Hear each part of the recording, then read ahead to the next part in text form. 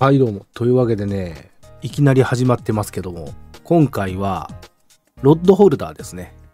えー作ってみたいと思います。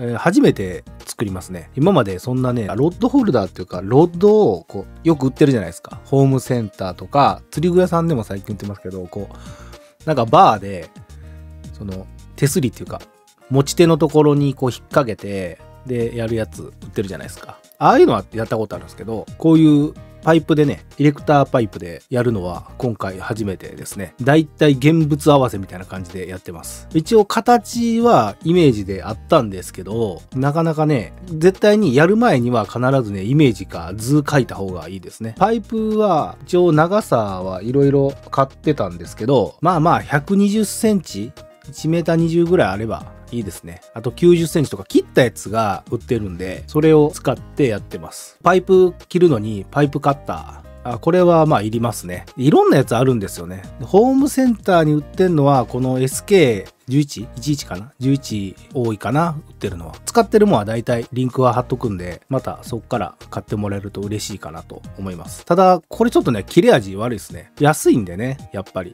2000円しないんじゃないですか？あの、6000円とかね、するやつはね、倍ほど早く切れます。これはね、ちょっと、まあ、女性にはしんどいかもしれないですね。特にグリップの強い軍手をしてやった方が楽やと思います。あの、切れるやつやと別に全然素手でも簡単に切れるんですけど、で、これ一応リーマーっていうか、あの、バリ取りも一応付属っていうか本体にくっついてます。まあそういう意味ではコスパはいいのかなという。そんなにね、使うもんじゃないですからね。安いのでいいと思います。とりあえずあの、エンドキャップ、エンドキャップもつけて、えーまあ危ないんでね、一応切り口が、まあ見た目ですね。見た目見栄えよくしとかないと。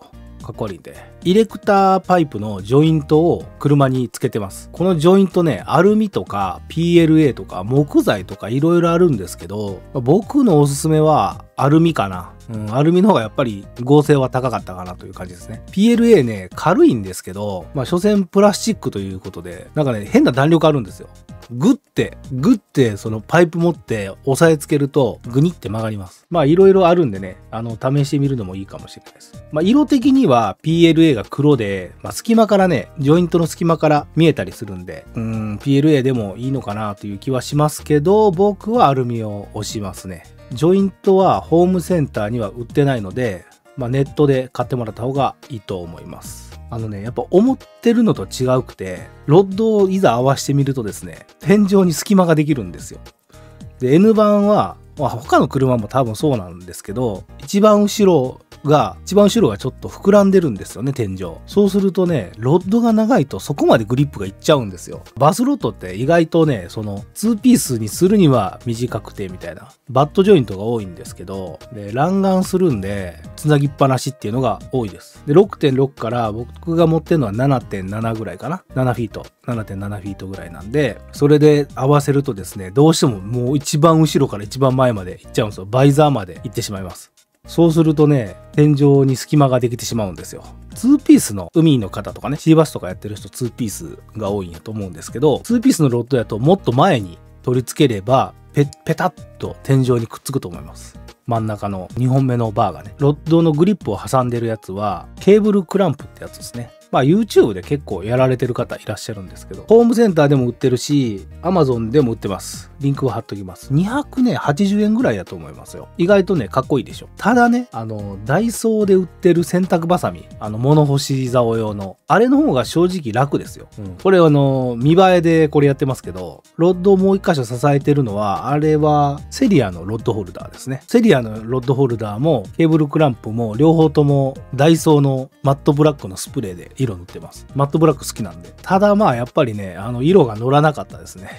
薄かったですね。下の黄色が出てます。そんなね、そこまでやろうと思ってないんで、2ピースでも全然乗るんですよ。これでやるとね。2ピースの場合、さっき言ったみたいにもっと天井を上げれます。天井までパイプを上げれます。そうした方が、まあ収納的にはいいかなっていう感じはしますよね。まあネットでもやって、あの、網棚みたいな作ろうかなと。あんまりね、天井、せっかく高い天井をね、低くしてみたりする気はないんで、できるだけね、ちゃんと使ってやりたい。いかに天井の高い車を活かして広く使うかっていうことやと思うんで、できるだけ上げてます。一応ね。ケーブルクランプには防水の隙間テープを貼ってます。クッションですね。ロッド当たるんでカタカタ音がしたりするんで、それとあとケーブルクランプにも隙間テープ貼ってます。これ最初ね、ホルダーみたいなんで止めてたんですけど、インシュロックで。最終的にはインシュロックのみで止めてます。その方が固定しやすかったんで、使った材料ですね、このケーブルクランプしかりですけど、あの動画のどっかで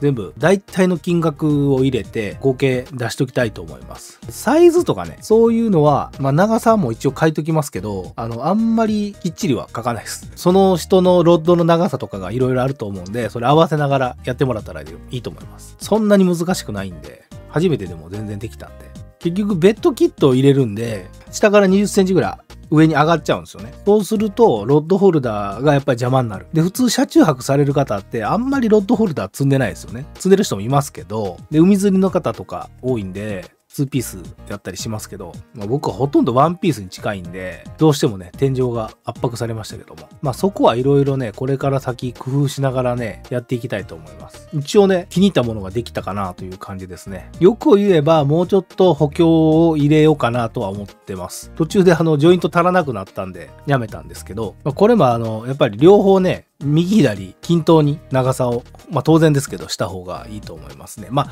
あえてね、崩すっていうのもありますけど、天井を逆に、天井までの距離を逆に開けておけば、そのネット置いて、ネット入れて、収納、まあ、寝袋を置いたりとかっていうこともできると思うんで、ロッドホルダーとしてだけじゃなくてね、普通の棚として使えるように改造も全然できると思うんでね。まあ、ととりあえずディレクターパイプ2本通しといて、4本か。だから、えー、4本でえー、まあ四角作ってそこにネット入れてやったらもうこれ収納じゃないですか。かなり置けると思いますよ。鉄製なんで、ゴムは被ってますけど、鉄製なんであの強度はあるし、全然大丈夫だと思います。で、これ余ったパイプで、とジョイントで、とりあえずね、あの、物掛けみたいな、まあ、ハンガーとかかけて、服とかかけれるように、まあ、上着とかね、カッパとかかけれるようにしようかなと思って、余った材料でこれやってます。これ結構ね、あの、N 版の魅力ですよね。M6 の穴がたくさん開いてるっていうのは。まあ開いてなくても自分で開けてね、開けりゃいいんですけど、あの、ありがたいですよね。